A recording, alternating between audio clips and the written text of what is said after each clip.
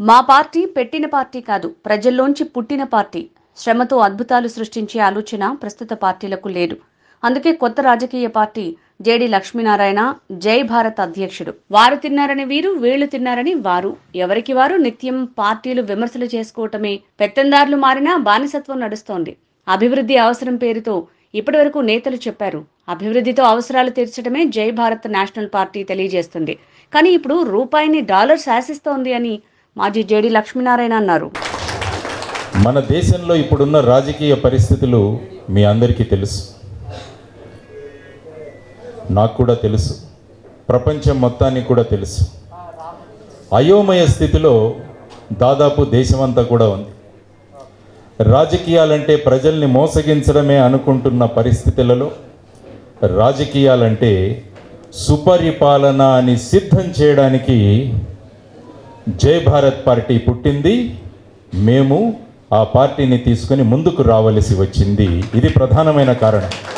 రాజకీయాలంటే మోసము అనుకుంటున్న ప్రజల యొక్క అభిప్రాయాన్ని మార్చి రాజకీయాలంటే సుపరిపాలన అని సిద్ధం చేయడానికి నిరూపించడానికి రావలసి వచ్చింది. శ్రమతో అద్భుతాలు సృష్టిద్దామని పరిశ్రమల నుండి ప్రగతి సాధిద్దామని ప్రభుత్వాలకు ఆలోచన లేకపోవడం వల్ల మనందరికీ నిరుద్యోగం అన్నది ప్రధానమైన సమస్యగా ఏర్పడింది. రెండు వేల పద్నాలుగవ సంవత్సరంలో ఈ రాష్ట్రం ఏర్పడినప్పుడు ప్రత్యేక హోదా ఇస్తామని పార్లమెంటులో మాట్లాడి రెండు వేల పద్నాలుగు విభజన హామీల విభజన చట్టం వచ్చిన తర్వాత అందులో ప్రత్యేక హోదా గురించి ఎవరూ మాట్లాడలేదు. రాష్ట్రంలో ఉన్న నిరుద్యోగానికి ప్రధానమైన కారణం నా ఉద్దేశంలో ప్రత్యేక హోదా రాకపోవడం. ఒకరేమో ప్రత్యేక హోదా వద్దన్నారు ప్యాకేజీ ముద్దన్నారు. మరొకరు కేంద్రం మెడలు వంచి ప్రత్యేక హోదా తెస్తామన్నారు. ఇంకొకరు తగ తలలు తెగిలి పడిపోయినా పర్వాలేదు కానీ హం లడేంగే అన్నారు. హోదా రాలేదు ప్యాకేజీ రాలేదు మెడలు వంగలేదు తలలు తెగి పడింది లేదు. మనకు మిగిలింది నిరుద్యోగం. మన రాష్ట్రానికి మిగిలింది నిరుద్యోగం. ఇక్కడ చదువుకున్న పిల్లలు హైదరాబాద్కి బెంగళూరుకి ఇటు వెళ్ళిపోతుంటే దాని గురించి ఎవరూ మాట్లాడలేదు. మూడు సార్లు మనకు అద్భుతమైన అవకాశం వచ్చింది. రాష్ట్రపతి ఎన్నికలు జరిగిన సందర్భంగా ఉపరాష్ట్రపతి ఎన్నికలు జరిగిన సందర్భంగా ఢిల్లీ సివిల్ సర్వీసెస్ చట్టాన్ని పార్లమెంట్లో ప్రవేశపెట్టినప్పుడు మూడు సార్లు మనకు అవకాశం వచ్చింది ప్రత్యేక హోదా అడగడానికి. కానీ అడిగే ధైర్యం ఎవరికీ లేదు. కానీ మళ్ళా దాన్ని ఎలక్షన్ ముద్దాగా తీసుకొచ్చి మళ్ళా ప్రత్యేక హోదా కోసం పోరాడతామని మళ్ళా చెప్పబోతున్నారు ఈ అన్ని బూటపు బూటకపు ప్రచారాలను సమాప్తి చేసి రాష్ట్రానికి ప్రత్యేక హోదా తీసుకురావడానికి పుట్టింది జై భారత్ నేషనల్ పార్టీ ప్రత్యేక హోదాని ఎలాగైనా తీసుకొస్తాం మేము.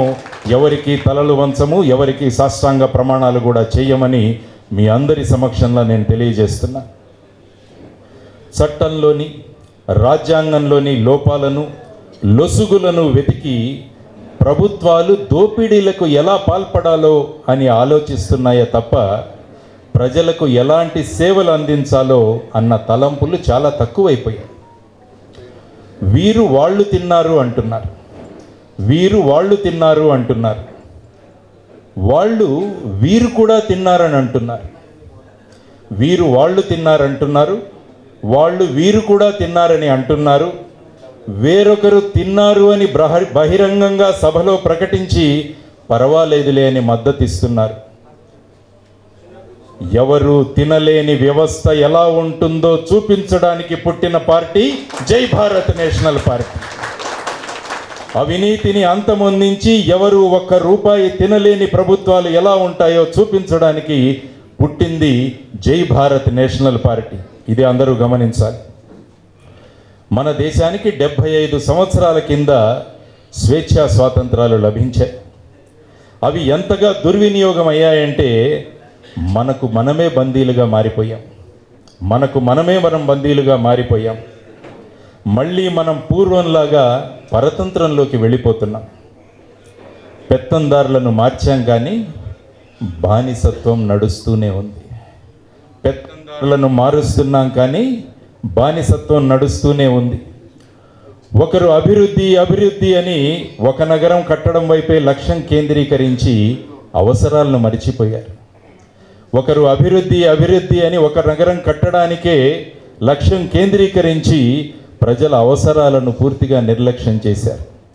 ఇంకొకరు అవసరాలు అవసరాలు అని అభివృద్ధిని పక్కకు నెట్టారు. అభివృద్ధితో ఎలా అవసరాలు తీర్చవచ్చో ప్రజలకు చెప్పి బానిసత్వం నుంచి విముక్తి కలిగించడానికి పుట్టిన పార్టీ జై భారత్ నేషనల్ పార్టీ. జై భారత్ నేషనల్ పార్టీ బానిసత్వాన్ని నుంచి విముక్తి కలిగిస్తుంది. అభివృద్ధితో అవసరాలు ఎలా తీర్చాలో అన్నది జై భారత్ నేషనల్ పార్టీ అందరికీ తెలియజేస్తుంది. ఒకప్పుడు మన రూపాయి డాలర్ స్థాయితో సమానంగా ఉండేది. డాలర్ స్థాయితో సమానంగా ఉండి రూపాయి గర్వంగా తలెత్తుకు తిరుగుతుండేది కానీ ఇప్పుడు దానికి వ్యతిరేక పరిస్థితిని చూస్తున్నాం. డాలరు శాసిస్తుంటే రూపాయి తల వంచుకొని దాస్యం చేసే దుస్థితికి జిగర దిగజారిపోయింది. నిజానికి ప్ర ప్రజలు ప్రభుత్వాలను నిర్ణయిస్తున్నారా అనే అనుమానం కూడా మనకు కలిగిపోతుంది. ఇప్పుడు ప్రజాస్వామ్యం ఎక్కడ? ప్రజాస్వామ్యం ఎక్కడ అని వెతుక్కోవాల్సి వస్తుంది మనకు. మనం పుస్తకాల్లో చదివిన ప్రజాస్వామ్యం మనకు పెద్దలు చెప్పిన ప్రజాస్వామ్యం ఎక్కడ అని వెతుక్కోవాల్సిన పరిస్థితిలో మనం అందరం కూడా ఉన్నాం. దీనికి పరిష్కారం కలిగించడానికే పుట్టింది జై భారత్ నేషనల్ పార్టీ అని మరి ఒకసారి మీ అందరికీ తెలియజేస్తున్నా. గతంలో ఎన్నడూ లేని విధంగా మేధావులని ఆర్థికవేత్తలని ఉక్కు పాదాల కింద తొక్కుతున్న దుస్థితి మనం ఇప్పుడు గమనిస్తున్నాం. సామాజిక బాధ్యత కలిగి నిర్మాణాత్మకమైన సృజనాత్మకమైన విమర్శలు చేస్తున్న వ్యక్తులను నిరంకుశంగా జైళ్ళకు పంపిస్తున్నారు. చాలా సంవత్సరాల నుంచి చూస్తున్నాం ఇది. నిస్సహాయంగా నిస్తేజంగా చూస్తూ మనమంతా ఉండిపోయాం. రాష్ట్రంలో శాంతి భద్రతలు మానవ హక్కుల రక్షణ చక్కగా ఉండి ఉంటే మేము రావాల్సిన అవసరం ఉండేది కాదు. అవి లేవు కాబట్టి వాటిని దారిలో పెట్టడానికి పుట్టింది జై భారత్ నేషనల్ పార్టీ. శాంతి భద్రతలను మానవ హక్కుల రక్షణను కల్పించడానికి పుట్టింది జై భారత్ నేషనల్ పార్టీ. రాష్ట్రంలో ఒక్కసారి గమనించండి. మన రాష్ట్రంలో మరెక్కడా లేని విధంగా వెయ్యి కిలోమీటర్ల సముద్ర ప్రాంతం కలిగి ఉంది మన మన రాష్ట్రంలో సుమారుగా వెయ్యి కిలోమీటర్లు. మీరు అనుకుంటే ఈ వెయ్యి కిలోమీటర్లను కనుక మనం చక్కగా అభివృద్ధి చేయగలిగితే రాష్ట్రంలో ఉన్న సగం జనాభాకి మనం ఉద్యోగ కల్పన చేయవచ్చు. ఉద్యోగాలు మనం ఇక్కడే సృష్టించవచ్చు. భారతదేశం ముఖ్యంగా ఆంధ్రప్రదేశ్ అన్నది వ్యవసాయ ప్రాధాన్య రాష్ట్రం. అందువల్ల గ్రామాలలో పరిశ్రమలు గనక మనం ఏర్పాటు చేయగలిగితే గ్రామములలో పరిశ్రమ వేరొకరు తప్పుతో అప్పు చేసిన వారి పక్కన ఉంటున్నారు. మేము తప్పు చేయము అప్పు చేయము. మేము తప్పు చేయము అప్పు చేయము. యువతరం యొక్క ఆధారంతో యువతరాన్ని మా వెంట తీసుకొని వీరందరూ తీసిన అప్పు తీర్చి ఆంధ్రప్రదేశ్ రాష్ట్రాన్ని గుజరాత్ రాష్ట్రం కన్నా ముందుగా తీసుకువెళ్ళే దానికోసం పుట్టింది జై భారత్ నేషనల్ పార్టీ. అప్పు చేయము తప్పు చేయము. ఆంధ్రప్రదేశ్ రాష్ట్రాన్ని గుజరాత్ కన్నా ముందుకు తీసుకువెళతాం ఖచ్చితంగా. ఈ దయనీయ స్థితి ఇప్పటికైనా మారాలి నా మారాలి. దానికోసమే ఈ జై భారత్ నేషనల్ పార్టీ నుంచి ముందుకొస్తున్నాం. ఈ ఆశయంతోనే మేమందరము మీ ముందు నిలుచున్నాం. మీరు నందరూ నడుం బిగించి నాకు అండదండగా ఉండి స్వర్ణ భవిష్యత్తును రాష్ట్రానికి స్వర్ణ స్వర్ణాంధ్ర అంటే స్వర్ణ భవిష్యత్తు ఉండాలి. భారతదేశంలో ఉన్నంత యువతరం ఎక్కడా లేదు.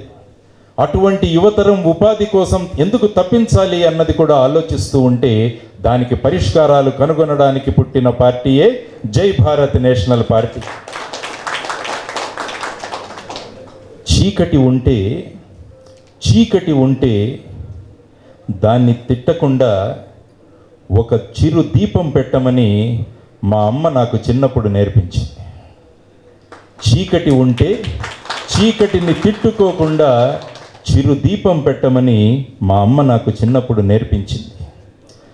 రాష్ట్రం చీకటిలో ఉంటే రాష్ట్రం చీకటిలో ఉంటే నేను ఈరోజు పెడుతున్న ఈ చిరు దీపాన్ని చూడ్డానికి మా అమ్మ కూడా వచ్చింది ఈరోజు చీకటిలో ఉన్న రాష్ట్రాన్ని వెలుగులతో నింపడానికి ఒక చిరు దివ్వే మా జై భారత్ నేషనల్ పార్టీ.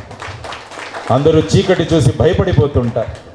అందుకనే మా అమ్మ చెప్పింది చీకటి కోసం భయపడద్దు. నీ ప్రయత్నం ఒక చిరు దీపం పెట్టు అక్కడ. కాబట్టి ఈరోజు ఈ రాష్ట్రం చీకటిలో ఉన్నందున ఒక చిరు దీపాన్ని మా జై భారత్ నేషనల్ పార్టీ రూపంలో వెలిగించాము ఈరోజు ఈ వెలుగు ఖచ్చితంగా అందరికీ చేరుతుంది. కోటి కాంతులను నింపుతుంది అని నేను మనస్ఫూర్తిగా అనుకుంటున్నాను. అందువల్ల ఈరోజు ఈ కార్యక్రమానికి విచ్చేసిన మీ అందరికీ కూడా కృతజ్ఞతలు తెలియజేస్తూ ఈ జై భారత్ నేషనల్ పార్టీ ఒక వెబ్సైట్ కూడా మేము తయారు చేశాం. ఎందుకంటే ప్రజలందరూ మా వెంట ఉంటారు. ప్రజలకు మేము ఏమనుకుంటున్నామో మా అభిప్రాయాలు ఏంటి అన్నవి తెలియజేయడానికి ఒక వెబ్సైట్ కూడా తయారు చేయడం జరిగింది. అది కూడా ఇప్పుడు లాంచ్ చేయబోతున్నాం. మెంబర్స్గా ఈ వెబ్సైట్ ద్వారా చేరమని ఆ తర్వాత మాకు అంగబలం ఆర్థిక బలం వీటిని కూడా సమకూర్చాలని చెప్పి నేను మీ ద్వారా ఈరోజు మీడియా మిత్రులందరూ కూడా పెద్ద సంఖ్యలో వచ్చారు. మీడియా మిత్రుల ద్వారా ఈ జై భారత్ నేషనల్ పార్టీని ముందుకు కొనసాగించాలి. అన్నది మా కాంక్ష. ఆ కాంక్షలో ఎప్పుడు కూడా ప్రజలకు నిజం అందించాలి ప్రజలకు మంచి వార్తలు అందించాలి ప్రజలలో చైతన్యాన్ని నింపాలి అని పాటుపడే మీడియా మిత్రులందరూ కూడా మాతో ఉండడం వల్ల ఈ ఈ ఆకాంక్షలు ఇచ్చిన మీరు మీ యొక్క సపోర్ట్గా మేము ఉంటాం. మా రైతు సభ్యుల కూడా మీకు ఎటువంటి సహకారమైన మీరు మాకు కల్పిస్తే కనుక మార్కెటింగ్ ఎలా చేయాలనేది మాకు అవకాశం లేదండి. వీటి పడుతూ చాలా సంతోషంగా ఉన్నారండి. ఇది మాకు నిజంగా పండుగగా ఉంది. జై భారత్. జై భారత్. జై Bharat.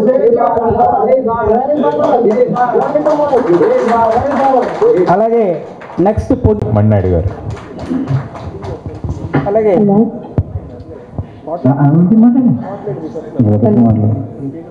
And uh, members party members, and the people of the people uh, ఈరోజు మనం చూసుకుంటే రెండు మేజర్ ప్రాబ్లమ్స్ ఉన్నాయి. ఒకటి ఫైనాన్షియల్ సిచ్యువేషన్ uh, దాంట్లో మనకి అవుట్ స్టాండింగ్ లైబిలిటీస్ వచ్చేసి almost four point two eight lakh crores liability ఉంది.